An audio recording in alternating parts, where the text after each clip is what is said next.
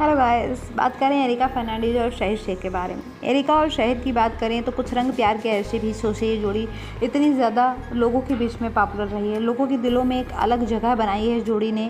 यही वजह रही है कि आपकी हाई डिमांड पर सीज़न टू में भी वही जोड़ी की वापसी कराई गई और सीज़न थ्री में भी। हालाँकि सीज़न थ्री बाकी सीज़न के मुकाबले ऐसा कुछ कमाल कर नहीं पाया, लेकिन हाँ सीज़न फ़र्स्ट और season two super duper hit रहे हैं।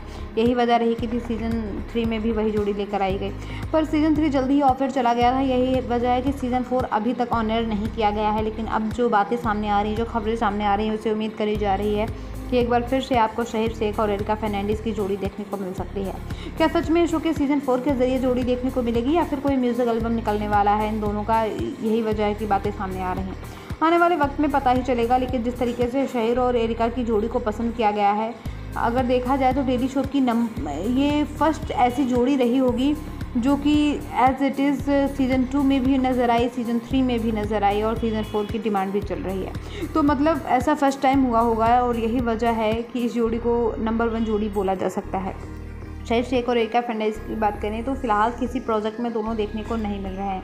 शहर को लेकर बातें सामने आ रही थी कि उनके न्यू प्रोजेक्ट पर बहुत जल्द मोहर लगने वाली है मतलब कि वो बहुत जल्द कंफर्म करने वाले हैं न्यू प्रोजेक्ट में नज़र आने वाले हैं, जिसका प्रोमो भी बहुत जल्द निकलने वाला है। तो ऐसी बातें सामने आ रही थी, लेकिन ऑफिसियल अनाउंसमेंट नहीं हुई है तो ऐसे में अभी क्लियर नहीं बोला जा सकता है कि शहर से किसी और प्रोजेक्ट में नज़र आने वाले हैं।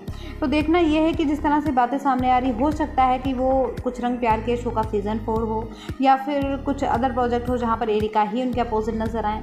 अब यह तो सब कुछ आगे पता ही चलेगा, लेकिन आप लोग कितना ज़्यादा एक्साइटेड हैं एरिका और शहीद की जोड़ी को दोबारा से एक साथ देखने के लिए। हालाँकि सीज़न थ्री में काफ़ी कहानी भी चेंजेस हुए थे कहानी के अंदर। इन, इस जोड़ी की बात नहीं है, जोड़ी को तो लोग हमेशा से पसंद करते आए हैं, लेकिन चूँकि स्टोरी में कुछ खास कमाल नहीं कर पाए मेकर्स यही वजह रही कि सीज़न थ्री जो था वो फ्लॉप हुआ।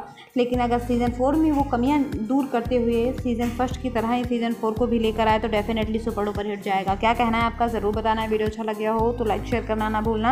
And thank you for watching